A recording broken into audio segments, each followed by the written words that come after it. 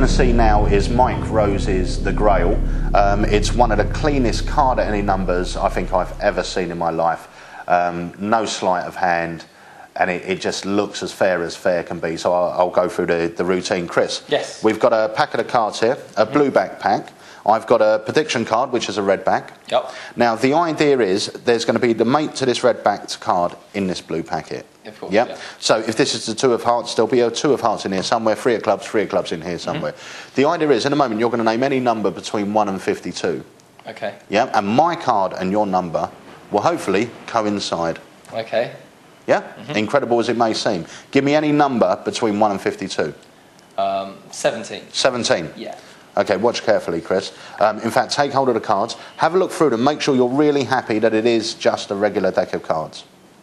Yeah, all seems normal. Yep. Mm-hmm. Deal 17 cards face up onto the table, and when you get to the 17th card, just deal it off to one side.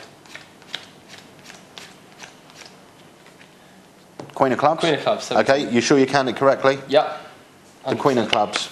I placed one prediction card on the table, which happens to be the clinic clubs.